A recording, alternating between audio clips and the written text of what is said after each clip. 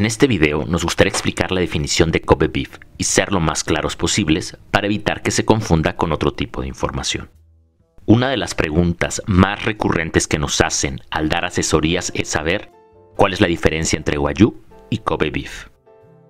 La carne de Kobe Beef es una doble marca de Wagyu negro japonés. Para entender lo anterior, es importante que se sepa que existen más de 200 marcas de Wagyu en Japón.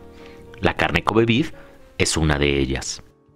Primero, explicaremos la diferencia entre Tajima Ushi y Tajima Beef para así poder comprender qué es Kobe Beef.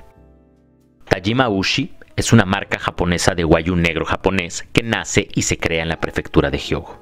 El origen del nombre Tajima viene del norte de la prefectura de Hyogo. La res se alimenta en una granja registrada en la asociación de Kobe Beef.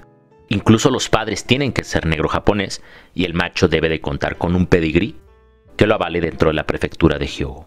Tajima Ushi. Esto es cuando el ganado se encuentra vivo y cumple con las condiciones mencionadas.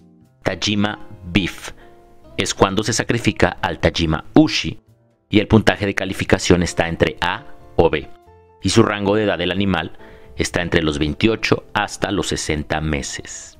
Para ser denominado Kobe Beef, se deben de cumplir con las siguientes 5 especificaciones. Primero, el Wagyu debe de ser Tajima Beef. Segundo, el BMS debe de estar por arriba de 6. Tercero, el peso del canal debe de estar entre 270 kilos a 499.9 kilos en el caso de las hembras y 300 a 499.9 kilos en el caso de los machos. Cuarto, el puntaje de clasificación debe de ser A4, A5, B4 o B5. Quinto, el macho tuvo que ser un animal castrado y la hembra nunca tuvo que haber dado a luz. Incluso cuando un Tajima Beef cumple con todas las condiciones de Kobe Beef, el productor puede elegir entre mantener el nombre de Tajima Beef o ser aprobado por la Asociación de Kobe.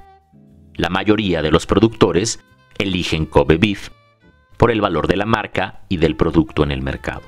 La famosa estatua de bronce con lo que algunos restaurantes cuentan es el reconocimiento que acredita que se forma parte de la asociación de Kobe Beef.